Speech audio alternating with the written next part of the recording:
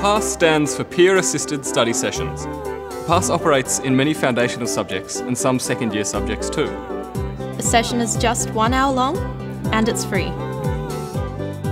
PASS helps you go from an average mark to a great mark. PASS is facilitated by me or people like me who have already been through the subject and want to help others. It's not like a tutor lecture, it's a different way of learning. It's a relaxed atmosphere where a group of us get together and study together. An open environment where I gain a deeper understanding of what I'm learning. PASS is for everyone and anyone, but mostly for students who want to excel. It helps with a smooth transition into uni. PASS allows me to talk through concepts and cement knowledge. Now I understand that there are different ways to think and study.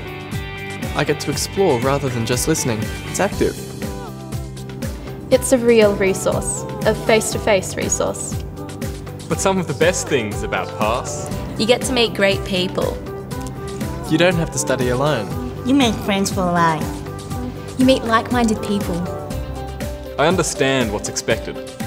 And I feel more confident. It's fun. I love PASS. I'm hooked. We love PASS!